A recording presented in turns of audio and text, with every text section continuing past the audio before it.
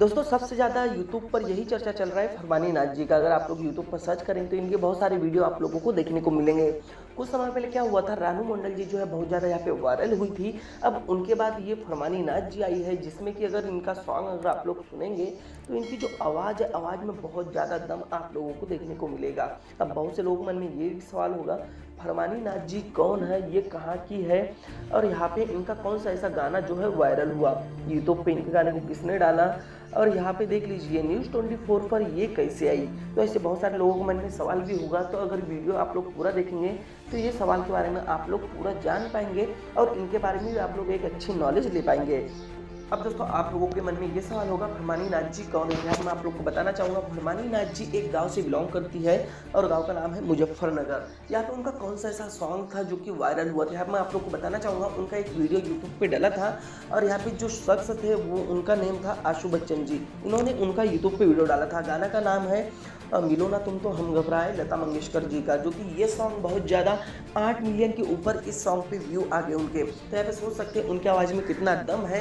यहाँ पे मैं वीडियो आप लोग को इस वजह से प्ले करके नहीं बता रहा, हो सकता मुझे कॉपीराइट स्ट्राइक मिल जाए क्लेम मिल जाए तो क्या होगा? फिर मोनिटाइजेशन में प्रॉब्लम होगी, इस वजह से मैं उनका जो वीडियो है यहाँ पे नहीं ले पाया।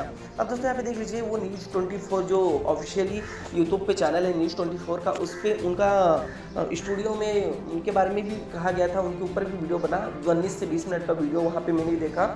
तो उसके अंदर भी उनके बारे में पूरा बताया गया। अब देख लीजिए यहाँ पे, इसमें सबसे ज़्यादा जो हाथ है, वो आशु बच्चन जी का है, क्योंकि उन्होंने यहाँ पे उनकी वीडियो को रिकॉर्ड किया और अपने यूट्यूब पे चैनल पर डाला। यहाँ पे अगर उनके यूट्यूब चैनल पर आप लोग जाके देखेंगे तो ऐसे ही टैलेंटेड लोगों की जो वीडियो है, वो आप लोगों को देखने को मिलेगी। उनके यूट्यूब चैनल का जो लिंक है, मैं आप लोग को दे दूँगा डिस्क्रिप्शन में।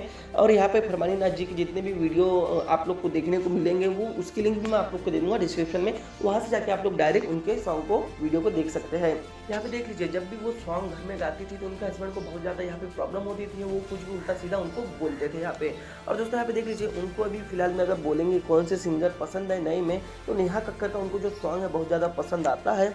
और यहाँ पे देख लीजिए, गाने का उनका जो शौक है, वो एक पहले से ही बरकरार था, बचपन से ही उनको बहुत ज़्यादा शौक था गाने का। और यहाँ पे अगर हम बात करेंगे, दोस्तों, उनके पापा का यहाँ पे बहुत ज़्यादा उनके ऊपर सपोर्ट बनाया था। उनके सारे वीडियो की जो लिंक है, आप लोग जाके डिस्क्रिप्शन में देख लेना। यहाँ पे देख लीजिए, मैंने उसके बारे में आप लोग को पूरी डिटेल दिया। वीडियो आप लोग को पसंद आई है तो वीडियो कर देना लाइक कर देना अपने दोस्तों साथ शेयर मैं राहुल ये सलाह आपसे फिर मुलाकात करूँगा एक नई वीडियो में, नए टॉपिक के साथ। तो दोस्तों, मिलते हैं अगले वीडियो में। तब तक ले लिए जय हिंद, वंदे मातरम।